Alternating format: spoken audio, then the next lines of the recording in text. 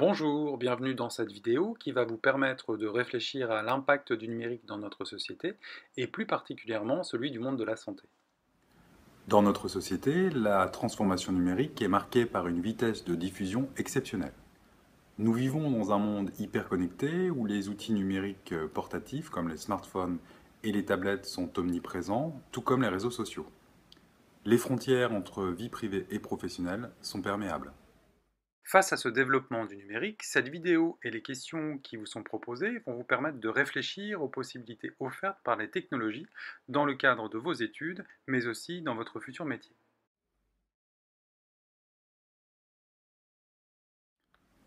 L'équipement en téléphonie mobile est très marqué pour la population française. Selon l'étude du CREDOC 2015 baromètre du numérique, l'équipement en téléphonie mobile est de 92% en 2015, soit 3 points de plus qu'en 2014. Il est supérieur au taux d'équipement en téléphonie fixe à 89%. Nous observons aussi une forte évolution des tablettes tactiles et smartphones, plus 12 points pour les smartphones et plus 6 points pour les tablettes par rapport à 2014. Nous pouvons le voir, euh, depuis 2014, le smartphone est majoritaire par rapport à la téléphonie mobile classique. En 2015, 3 téléphones sur 4 achetés sont des smartphones. Cette forte évolution d'accès aux smartphones se fait quasiment pour toutes les catégories sociales. Cependant, comme nous pouvons le voir sur les deux graphiques du haut, le taux d'équipement reste néanmoins très fortement corrélé à l'âge et au niveau du diplôme.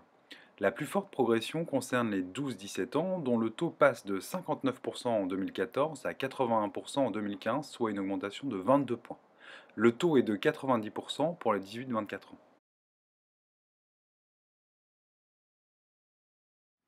Le smartphone étant un téléphone mobile intelligent avec de nombreuses fonctionnalités comme l'accès à Internet, il semble intéressant pour renforcer nos propos d'identifier le développement des usages liés à Internet, notamment via le smartphone. Ainsi, l'usage d'Internet est quotidien. 68% des 84% d'internautes français déclarent se connecter tous les jours. Il est de 100% pour les étudiants et 99% pour les cadres et les professions intermédiaires. Quel usage d'Internet avec les smartphones en 2015 en France? 52% de la population française de 12 ans et plus navigue sur Internet. Ils sont 45% à consulter des courriels et 44% à télécharger des applications, soit une progression de presque 10 points par rapport aux années précédentes. Enfin, ils sont 25% à utiliser des messageries instantanées, soit une augmentation de 8 points, et 17% pour téléphoner via Internet, soit une augmentation de 5 points. D'ailleurs, Internet est de plus en plus consulté pour la santé. 41% de la population font des recherches sur ce thème, soit plus de 4 points en 4 ans. Concernant la répartition de la population par rapport à l'usage de l'Internet, trois populations se distinguent. 29% ont un usage expert, c'est-à-dire qu'ils exploitent au mieux toutes les possibilités offertes par Internet.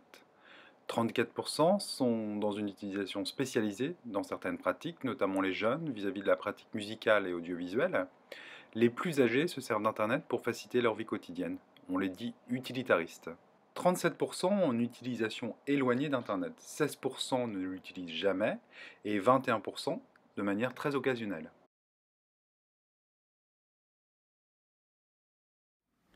Les réseaux sociaux séduisent 52% des personnes enquêtées, soit une augmentation de plus de 10 points sur 3 ans.